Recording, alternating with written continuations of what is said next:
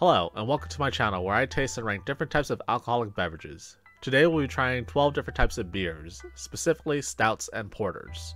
This tasting and ranking is strictly my opinion, so there is no right or wrong answers, just where I believe, based off the taste alone, where I would rank these guys. With that said, let's get started. Alright, so here are the beers. So I will be starting these guys on the porters first, and then moving on to the heavier style, the stouts. Yeah, no particular order. First one today is going to be from Maui Brewing, Hawaii, Coconut Highway Porter. This guy is 6% alcohol.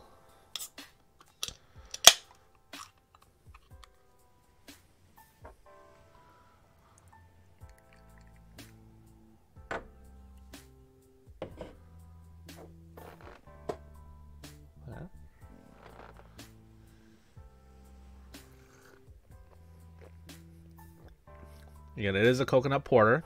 Uh, coconut is actually very prominent. It's actually very enjoyable. It's very easy drinking. Uh, this is actually really good. If you like coconut, again, you definitely do get a little bit of the coconut flavor, a little nuttiness as well. Overall, it's delicious. It's easy drinking. You get a lot of flavor out of it, so it's not super heavy at all.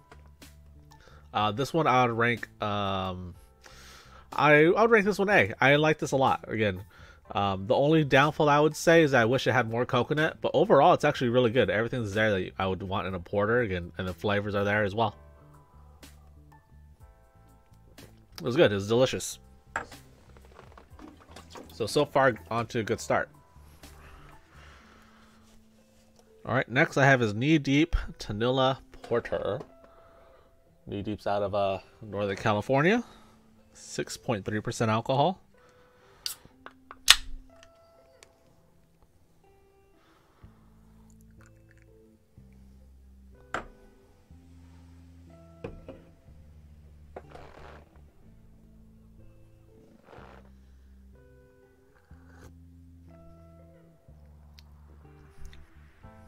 Hmm.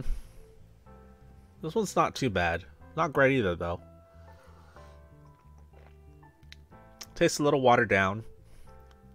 I get a little bit of a uh, roasted, uh, like roasted coffee flavor.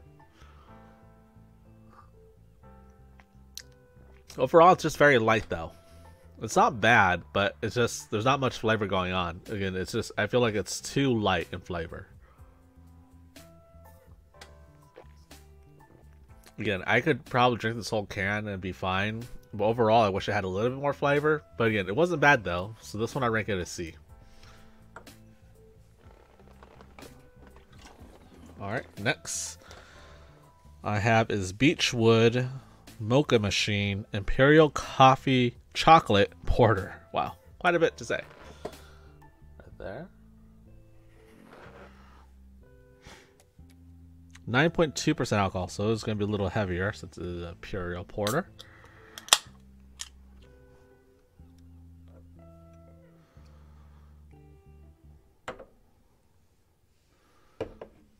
First thought I read it on the pour didn't really have a lot of carbonation on it. It was uh, very light compared to the first two.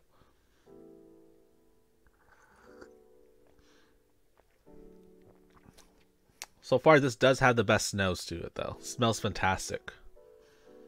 Smells like roasted coffees. And taste-wise, actually tastes like coffee as well. I don't get a lot of um chocolate, but it is it is very very hint sweetness. But anyone who's a coffee lover will definitely enjoy this. This is a uh, I get a lot of flavor of black coffee, and then again, a little sweetness from the chocolate. Overall, this was actually very, very good. This one I give an S. Again, I love the flavors on it. The coffee flavor was definitely on point. Uh, the chocolate and the sweetness of it was on point as well. It wasn't overly sweet. It, ba- it balanced the, the coffee flavor uh, and just finishing it is very very smooth. Uh, this guy again, it was it was very very delicious, super easy to drink. Again, I wouldn't know that I'd be drinking a uh, nine percent alcohol if uh, I didn't read it. it was uh overall just uh overall just very delicious. Again, this one I feel like you could drink this like nothing and wouldn't even know that was nine percent.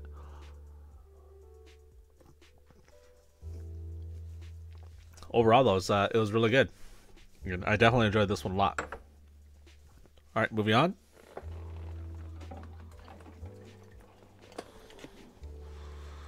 All right, next I have is Second Chance Brewing out of San Diego, California. This is the Tabula Rosa Porter.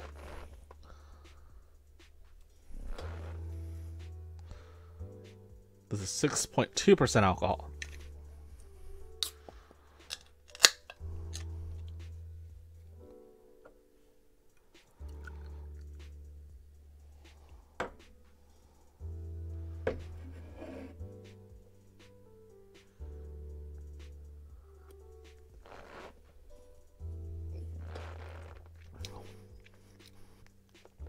Was not bad.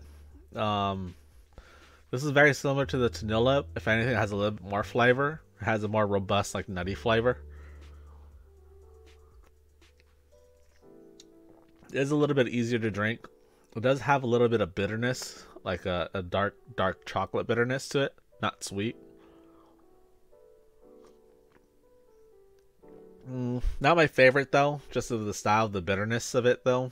Um, overall, again, it's not bad. Uh, I definitely rank it higher than the Tanula just because it does have more flavor, but then it wasn't one of my favorite ones to drink just because it has a little bit of bitterness in the backfall. Some people might like that because of the dark, dark chocolate flavors you usually get out of it. Again, this is like eating a uh, 80% dark chocolate type of flavor. Um, like there's like hardly any sweetness in the chocolate. That's what I feel like it's coming off of when I drink this. Again, overall it's not bad, but it's not great either for me. Excuse me, uh, but it's uh, not the best one that I would rank it, but definitely not worse.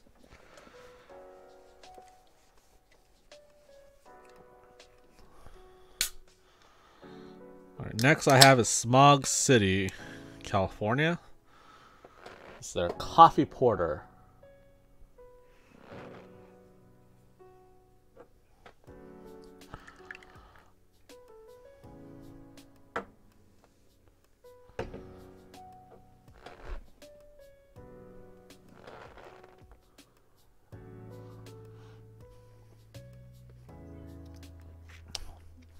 Ooh.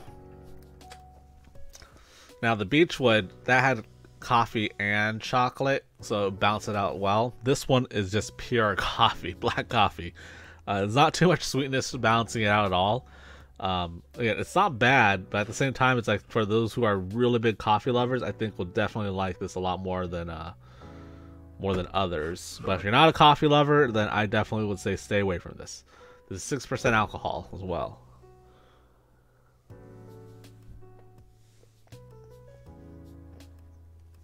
Again, it's not bad, but you definitely have to be a coffee lover to like this. I do drink black coffee, so I did I did actually enjoy this. But because all I tasted was like a black coffee flavored, I'm gonna give it a, a rank it a B. I wish it had something a little bit more to it, but it just really didn't. But people who love black coffees, I think will enjoy this one a lot.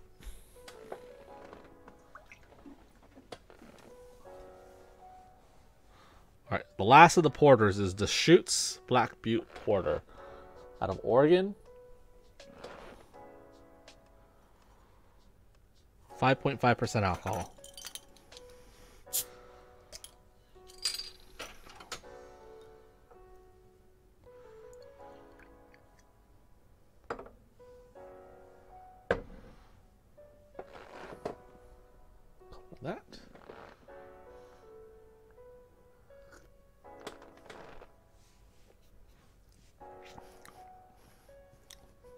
The porters, this is probably the uh, the the well, most well balanced.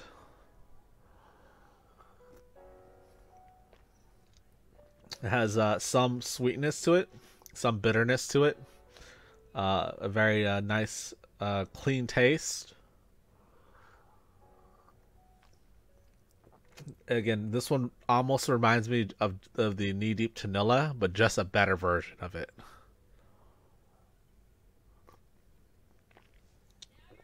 This one I'm gonna rank it a B just because again it reminds me of everything of the Tanilla but just slightly better.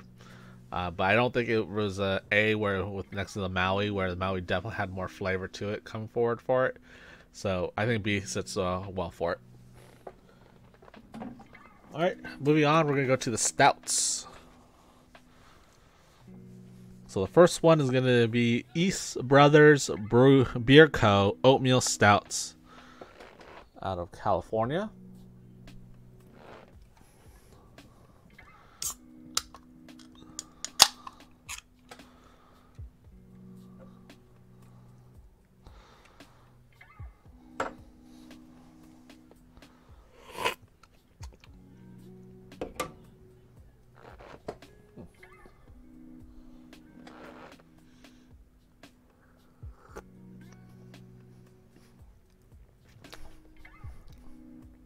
Says it's oatmeal stout. Um, very very light though, not too enjoyable honestly. Five point four percent. Uh, there's not a lot of flavor coming out of it. It's very very bland, even worse than the Tanilla Porter.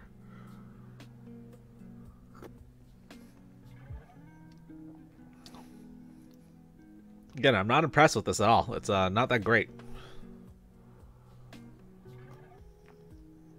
It has some sweetness. Um, no, a slight bitterness to it, but nothing nothing too heavy. Um, almost has a little tinge of citrusness to it, which is kind of weird too. Um, not my most favorite. This one I'm going to rank it actually E. I didn't really enjoy this one at all. So, yeah, the flavor was just not on on pudding. It just wasn't there for a stout. Uh, there just wasn't any good characteristics about this beer. Uh, again, it wasn't that great at all. So, I'll give it an E.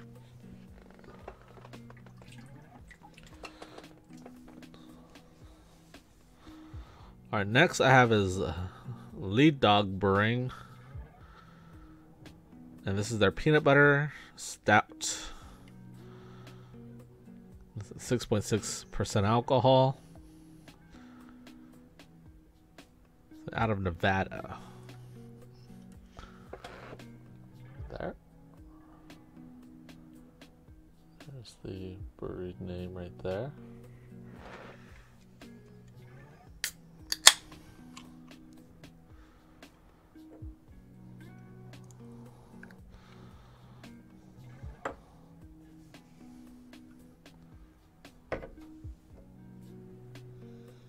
Ooh, smell on this is fantastic. Smells like peanut butter. Hopefully it tastes like peanut butter. Mmm. Taste is spot on. if you like peanut butter, this definitely has a peanut butter taste to it. This is very, very good, actually.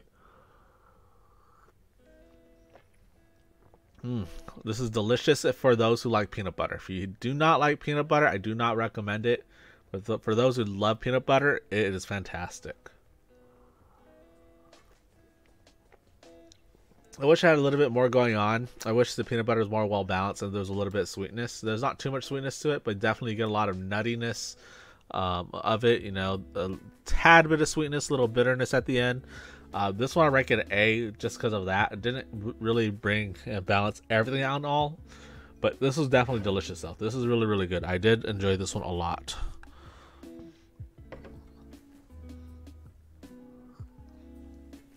Like I said, the nose just right on the spot. Once you smell it, it just smells what like it tastes like.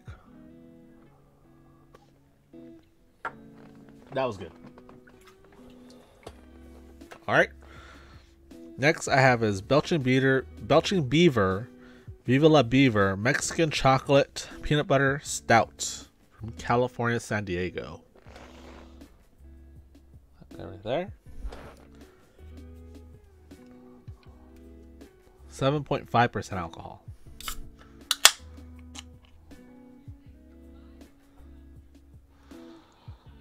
All right.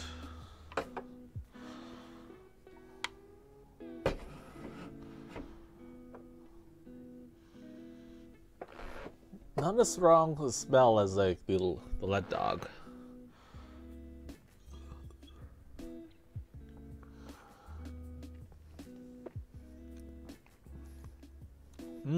Taste wise though, it's um it's spot on what it's what it is. It does taste like the Mexican like Mexican coffee chocolate. If you ever had it before, where that cinnamon sticks and spices onto it.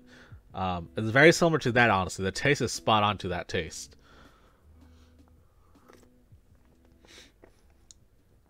I don't get a lot of peanut butter, but the sweetness on it is perfectly matched that. It just has like that sweetness of chocolate, um, a little bit of roasted coffee, um, a little bit of spices. This is actually really good too. This is actually very, very good.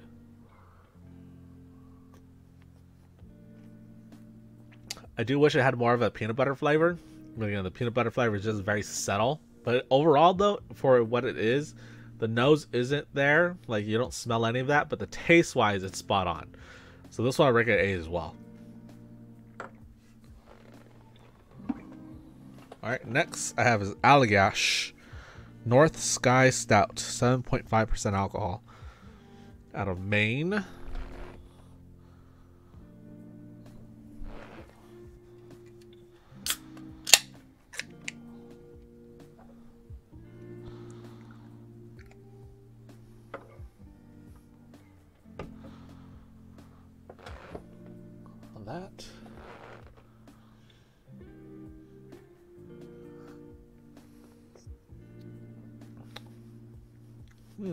Interesting. Um, there is definitely some sweetness to it. It also has a little bit of hops, hoppy flavor to it. Very light in the end, but still present where it's like is a little bit bitterness to it. Almost like a hoppy stout. Uh, yeah, hoppy stout.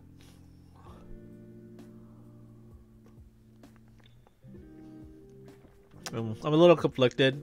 It's not super appealing for being what a, stout should be, but it wasn't bad. Actually, I did enjoy it. It had some flavor to it, um, more than some of the other characters. But then, if I'm judging it based off a stout, I don't know if I would call it a stout. I don't know if I enjoyed it as a stout. But if I'm calling it like a specialty beer, it was it was uh it was it was quite it was good. It wasn't bad. So for me wise, I'd rank this as C, just based off of how uh it tastes. It, it wasn't bad, but I don't think a lot of people will like this as a stout. I think if people drank this as a stout, they'd probably be a little bit disappointed, just because there's uh, not much going on there for stout wise. Um, you know, again, you get a little bit of some roasted taste and some malty flavors. You also get a little bit of a bitterness, like a hoppy flavor bitterness, that most people probably don't enjoy if you're trying to get away from that. All right, moving on. I have is the Great Divide Yeti Imperial Stout out of Colorado. What's that? 9.5% alcohol.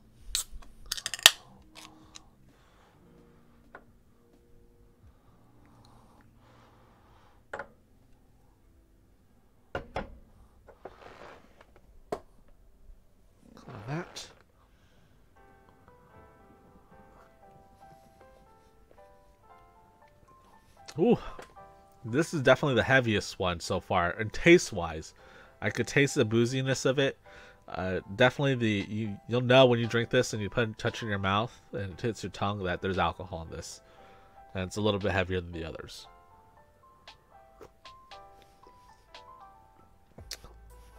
It's heavy, heavy flavors. Um, a lot of bitterness to it, which most people probably wouldn't enjoy. But if you're looking for something heavy, then this is definitely your your taste because it does have a lot of sweetness, a lot of maltiness to it, a lot of roasted nuts, roasted coffee. Again, it wasn't bad, but I don't think a lot of people would enjoy this. For me, wise, it was okay. I'd rank this one a C, just because. Uh, again, other people I don't think will like this just because of how the flavor comes out, out pretty strong. Uh, but it was good. It was enjoyable for me wise. I again, I definitely would drink, continue to drink this. But for most, I don't think that you guys will like this at all. Unless you guys like heavy, heavy styles. like if you guys like the heavy style, then this is definitely would work for you. But for those lighter, lighter, easier drinking ones, definitely not light at all. All right, last is New Holland Dragon's Milk, white bourbon barrel aged stout. So this is supposed to be a white clear stout. So let's see how it pours. Again, this should pour clear. if it's a white stout. So we'll see what it looks like. Ooh, and true to its name, it pours out clear.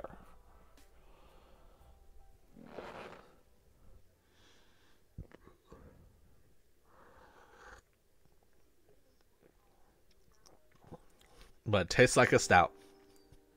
So what makes a white stout? Basically, uh, they don't roast the uh, the malts, so the malts are unroasted, but it tastes like a stout, pretty much. So that usually just leaves things a little bit uh, confusing in most people's head when they drink this because they think it's gonna be like a hoppy, uh, you know, beer, but tends up to be like a little bit sweeter.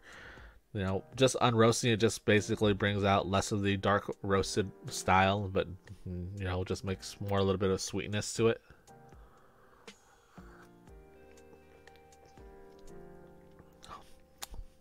for this, honestly, I thought it was gonna have a little more flavor because it's bar- bourbon barrel aged. But honestly, it's just uh, very easy drinking. It's very smooth.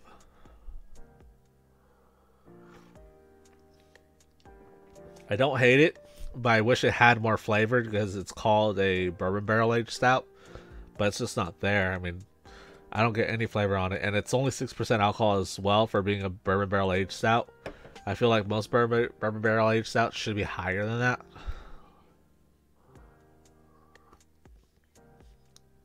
So for this one, I'm gonna rank it a C, just because I wish it was had a little bit more. Again, it wasn't bad; it was easy drinking, but it wasn't was not a lot of tons of flavor on it. All right, guys, this is my list. What do you guys think? Have you guys have any of these beers? Where where would you guys would rank these guys if you guys have had these? Is there anything you guys would like me to try? Let me know. Leave a comment. Thank you for watching. I hope you guys enjoyed. Cheers.